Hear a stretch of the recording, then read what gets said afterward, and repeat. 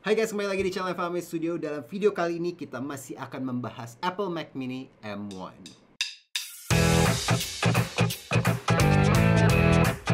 Hai guys, kembali lagi di channel FAME Studio. Ini adalah Apple Mac Mini M1 kita yang ketiga. Bener, kita udah beli satu, udah beli dua, dan ini kita beli lagi yang ketiga. Kenapa kita beli sampai tiga? Yang pertama dan yang kedua itu sudah digunakan ya oleh tim kita untuk video editing dan juga untuk motion uh, graphic production. Kenapa kita sampai nambah lagi? Kali ini yang ini kita beli khusus untuk live streaming ya. Karena Mac Mini M1 sudah terbukti untuk berbagai macam uh, apa ya production multimedia ya seperti foto editing, motion graphic, video editing tapi kita belum test drive nih untuk kebutuhan profesional uh, live streaming. Apakah Mac Mini M1 cocok buat teman-teman yang berada di industri live streaming ya? Karena kan masih kan ya ini kita masih belum bebas dari COVID sepenuhnya, jadi job-job streaming masih di mana-mana. Seperti kalian tahu, Mac Mini ini portnya uh, lumayan sedikit ya, bisa kita lihat Mac Mini ini portnya sangat terbatas ya sangat lumayan dikit. Jadi pastinya kita akan membutuhkan alat pendukung atau third party ya agar seperti kalian tahu yang namanya live streaming itu harus nyolok sound card harus nyolok uh, video switcher atau uh, capture card ya. So, untuk menemani Mac Mini M1 kita kali ini, kita sudah menyiapkan Corsair Ya, Corsair TBT 100 Thunderbolt Dock. Buat teman-teman yang baru dengar tentang TBT 100 Thunderbolt 3 Dock ini adalah sebuah hardware ya untuk ekspansi hardware yang memiliki port Thunderbolt 3. Jadi kalau kalian punya di sini bisa dilihat ada biasanya sih MacBook Pro ya, MacBook atau untuk uh, Mac Mini M1 yang sedang kita gunakan sekarang ataupun uh, nggak harus produk Apple ya, uh, produk PC pun yang selama ada port Thunderbolt 3-nya bisa menggunakan docking system ini. Hanya dengan menghubungkan device kalian ya MacBook Pro kalian atau Mac Mini kalian atau PC kalian yang ada port Thunderbolt 3-nya, kalian bisa langsung mengupgrade konektivitas kali aja konektivitas ya.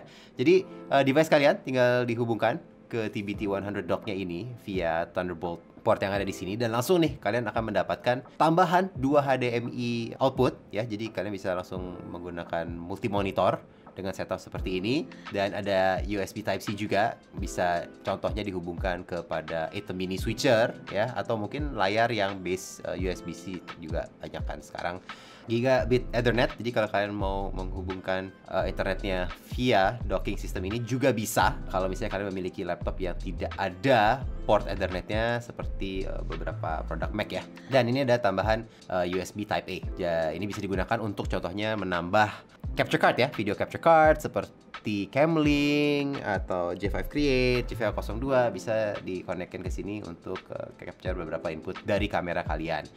Dan ini baru di bagian belakangnya aja, ya.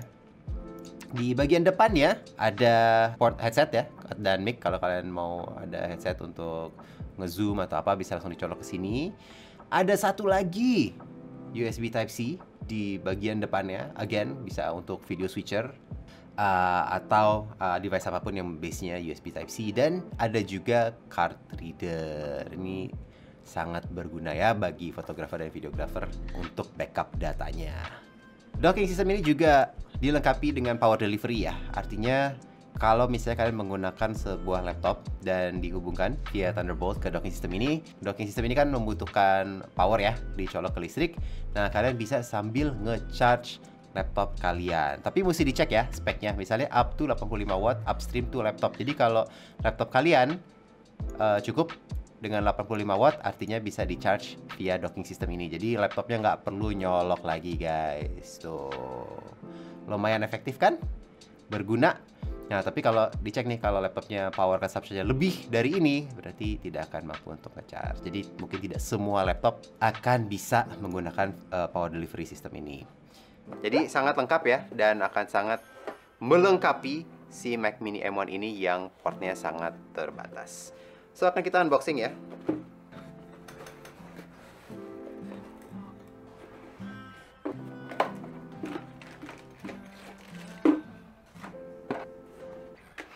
Oke, okay, so ini dia ya Corsair TBT 100 Ada apa aja dalam boxnya Ada sebuah kabel Thunderbolt Unitnya pastinya. Ada kabel power dan kabel powernya dikasih dua ya. Ada yang kaki dua dan kaki tiga. So buat yang Indo ya terima kasih banyak disediakan yang kompatibel untuk lokal ya dan ada power uh, adapternya ya. So, pastinya kita akan gunakan yang cocok untuk Indonesia yang ini ya. Bye bye. Ada warranty guide dan ada quick start guide. Yeah.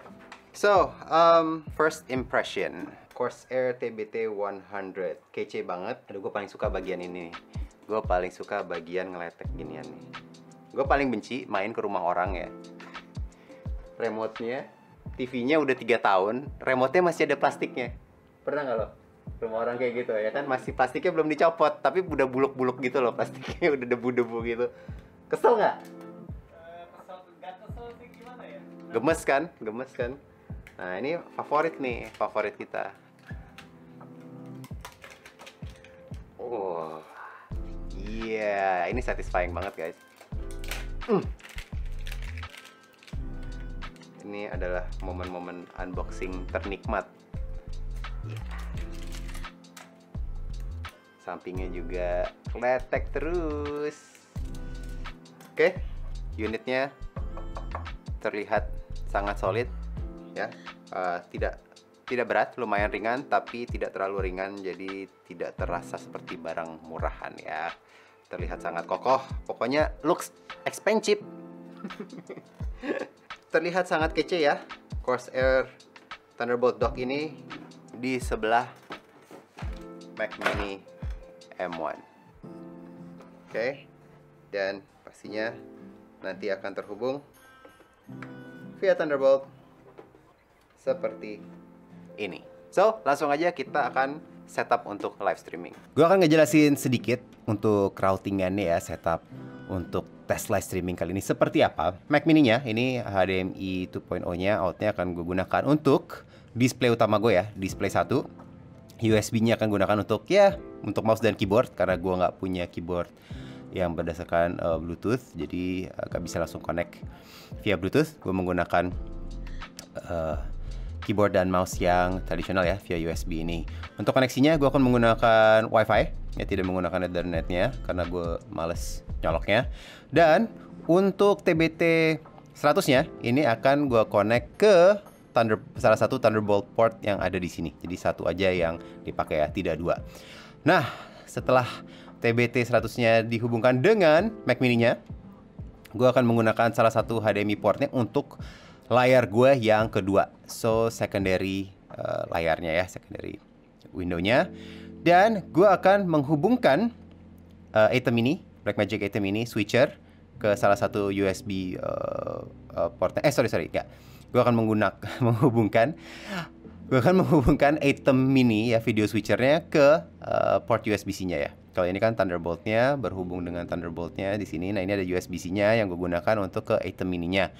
Dan pada nantinya gue akan nambah lagi untuk satu kamera yang terpisah dari karena ini kan uh, item ininya akan ada input dua kamera tapi gue akan nambah kamera ketiga menggunakan capture card gue akan menggunakan uh, Magewell capture card uh, pada port uh, USB-nya dan port USB satunya lagi ini akan gue gunakan untuk ke uh, audio device ya untuk uh, mixer ya USB mixer.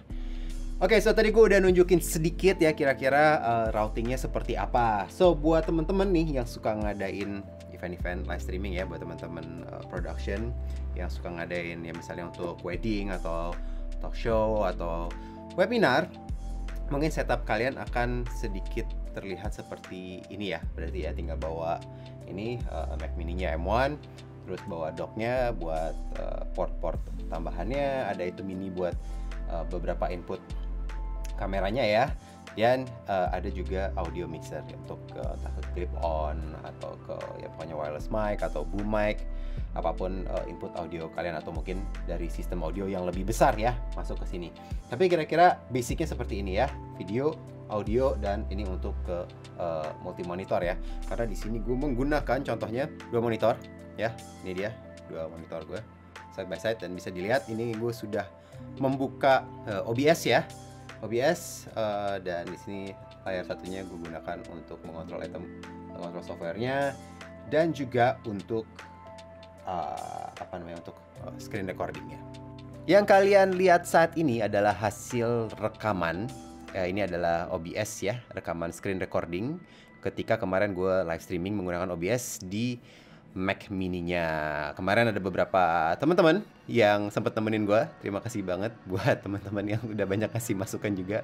Bahkan gue sempat belajar beberapa hal tentang Apple ya, karena gue udah lama banget nggak pakai Apple, jadi agak-agak kagok pakai Apple lagi. Tapi ini kemarin intinya gue streaming menggunakan OBS selama satu jam ya bisa dilihat di sini ini uh, masih menggunakan uh, item ya uh, input kameranya menggunakan item ini. Dan ini uh, streaming sekalian di kan gue menggunakan dua layar ya. Itu ada layar sebelah kiri OBS-nya layar sebelah kanan. Gue gunakan untuk screen record OBS-nya jadi ini keadaannya kondisinya adalah Mac Mini-nya sedang menggunakan QuickTime untuk record OBS-nya OBS-nya sedang streaming. Dan sekarang juga gue sudah mulai untuk recording menggunakan OBS-nya. Jadi ini double recording plus live streaming ya, live streamingnya full HD 60 fps. Uh, settingan bitrate-nya 5 di 5000 dan bisa dilihat CPU usage-nya ya. Mentok di kisaran ya 40 lah, 40-an tuh antara 38 dan 40. Ya, ini belum gue colokkan uh, extra capture card untuk menambah kamera satu lagi. Nah, di bagian ini kalian bisa lihat ada input kamera satu lagi ya. Itu sudah ada Matchwell capture card nyolok ke TBT 100-nya, ke docknya. Jadi sekarang ada dua input ya dari item Blackmagic item ini dan capture cardnya dan bisa dilihat ada kenaikan CPU usage-nya ya tapi hanya sekitar 6% jadi sekarang stabil ya 6-7% lah. Dia stabil di 44 sampai dengan 48%.